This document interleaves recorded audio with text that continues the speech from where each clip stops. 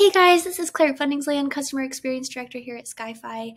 And today I'm going to give you a quick overview of what you receive in your SkyFi image deliverable so you can familiarize yourselves with what you may receive when you order an image through SkyFi. Once the image is captured and the order delivers, you'll receive an email from do not reply at skyfi.com, and this is what the email will look like. You'll see here you have both a PNG and a zip folder linked here. Um, when you click on the PNG, it may open in the browser, it may download.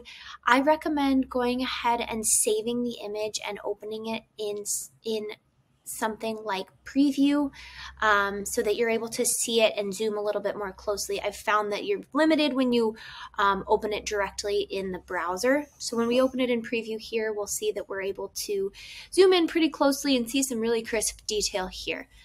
Um, this is what the PNG look, looks like. It's good to be used in any standard photo viewing app. Um, it will show you show you quite a bit of detail depending on the resolution selected um, and is the highest quality of the image that you'll receive. Um, additionally, though, you will receive a TIFF file, which is purposely processed to be used in more geospatial software. So you'll see here when we download the zip folder and open the zip folder up, um, we'll have several um, different files delivered here. These files include um, the PNG that we already viewed, the TIFF file that I just mentioned, and also the metadata for this file. So, like I said, the TIFF file is best viewed in softwares like QGIS um, as it's processed for, for more geospatial um, data processing. So when we have QGIS open here, we can simply drag and drop this drop this TIFF file into QGIS to see the same image we saw in the PNG, but a little bit more information here. Um, QGIS is a super powerful tool used in, in geospatial um, work and I, I encourage those of you who are interested in geospatial work to play around in here. You can do everything from measuring different distances and sizes like acreage and things like that. It obviously displays the coordinates here.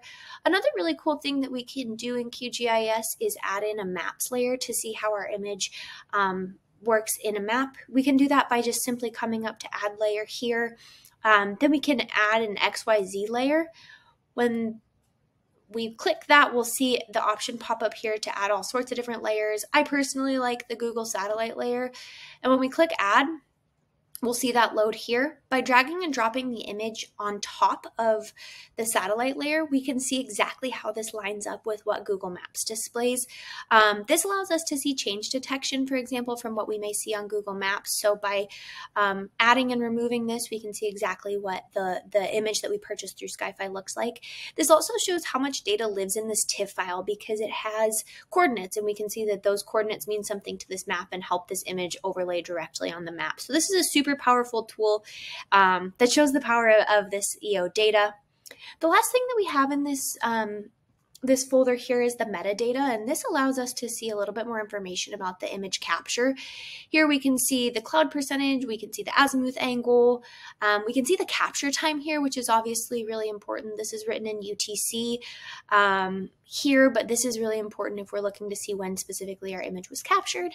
We can see the resolution written here in GSD. We can see the bands displayed in the image. Um, and then also up here, we can see which specific satellite captured our data. So aside from the PNG, we also deliver quite a bit of information about the image here. Um, I recommend playing around with the, the zip file to see more information as needed. Um, but again, that TIFF file will only open in GIS software as it may not display correctly in your standard photo viewing applications.